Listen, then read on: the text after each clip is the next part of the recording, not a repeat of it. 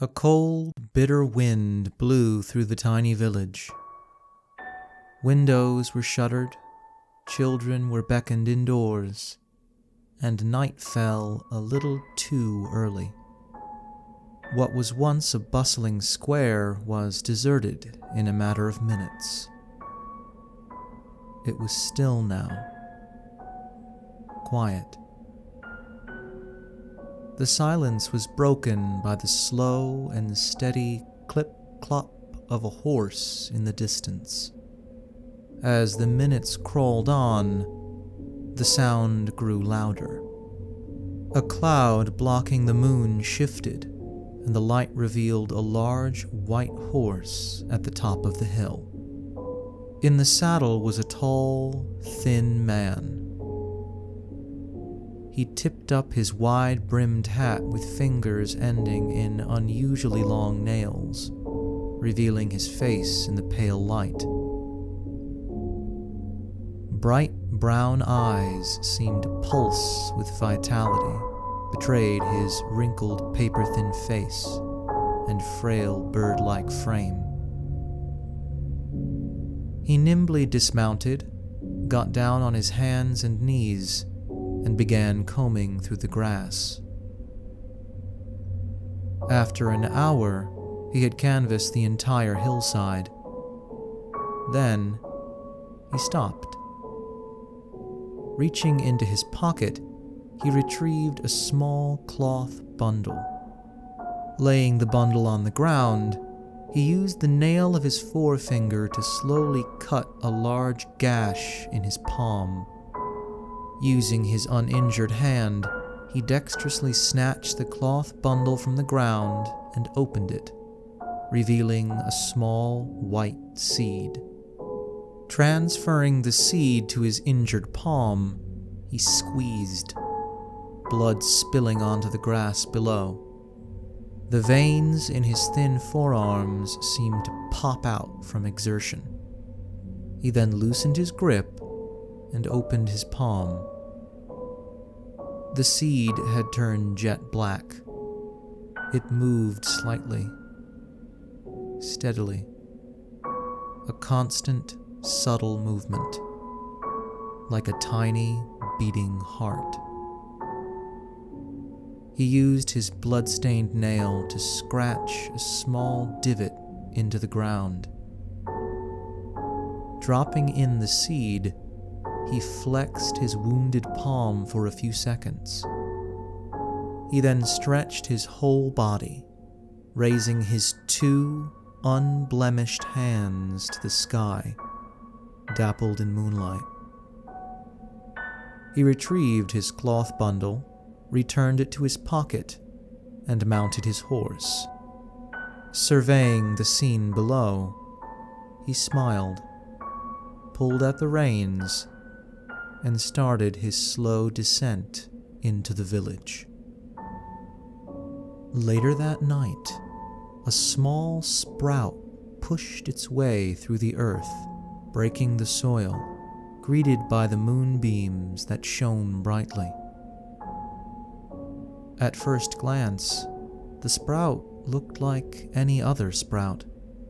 It was thin, green, and barely clinging to life. But as the hours passed, something changed. The flowers on the hill began to droop. The bushes and shrubs withered. And the sprout grew. It grew into a sapling, which grew into a small tree which in turn grew into a large tree. By the time it was the size of an average oak, every bit of life surrounding it was dead. The corpses of grass, roses, and dandelions littered the hill, choked of life. But the tree continued to grow. By the time the light of dawn touched its branches, it was the tallest thing for miles. Yet, in all its development, it never sprouted leaves.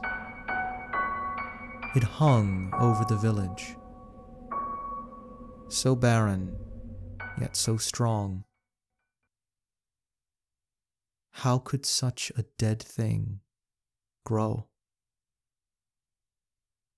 Hey, Dave, one villager said, staring at the tree.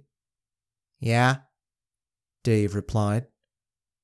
Does that tree look evil to you? Oh my god, that's exactly what I was going to say. It just looks evil. You don't often get a chance to call something evil, but that just hits the nail right on the head. Another villager hearing the discussion joined in. So, what are we talking about? The giant tree over there that just sprouted overnight. Oh, the evil tree? Yeah, exactly. How did it get here? Well, someone had to plant it.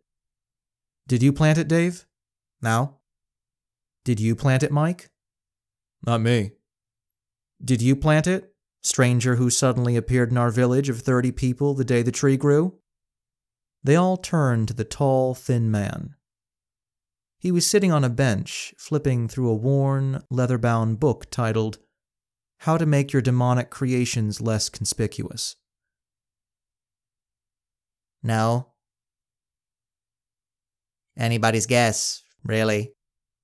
Andy sighed. Well, just to be safe, we're going to hang you, all right? Then we're going to desecrate your body, get a priest to bless it because we desecrated it, and then bury you in an unmarked grave. Okay? Yeah, that's pretty much par for the course. And they did just that. The tree was chopped down, uprooted, corded into firewood, then burned in a giant furnace.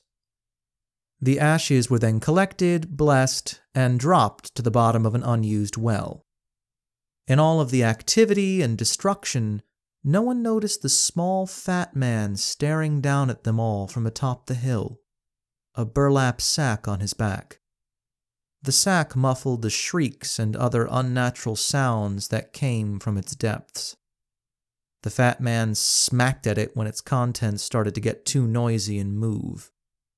Shifting the weight of the sack, he pulled out a map, a pencil, and took one last look down at the busy villagers below, striking the town off the map with a large X, muttering, Well, uh, this place is definitely a no go.